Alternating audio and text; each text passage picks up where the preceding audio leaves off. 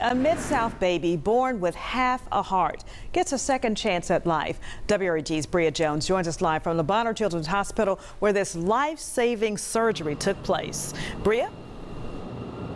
Well, Stephanie, after months of waiting, little Jamia received her new heart just two weeks shy of her first birthday. Tonight, her mother and healthcare providers are thankful for the blessing.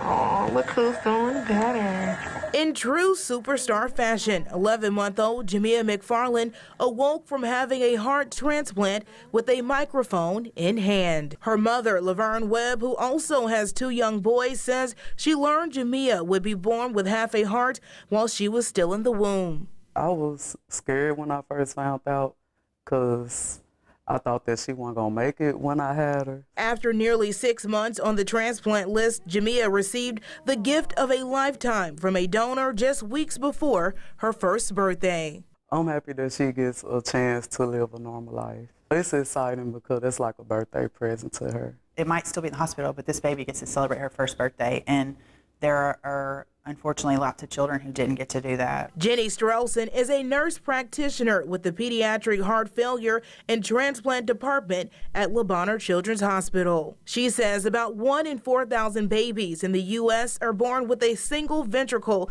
instead of two, like Jamia. The condition is often referred to as having half a heart. How does being born with half a heart impact a child? When you have a baby that's born with congenital heart disease, you're now expecting one ventricle to do the work of two ventricles or two pumping chambers. Um, and so we often see that fail. With Jamia already undergoing several surgeries, she says the transplant came right on time. Ultimately, she would have died on the wait list. With many milestones and a lifetime of medical visits ahead, her mother is praising the hospital for their care. I really appreciate the nurses and doctors here for taking care of her and they have us so spoiled here.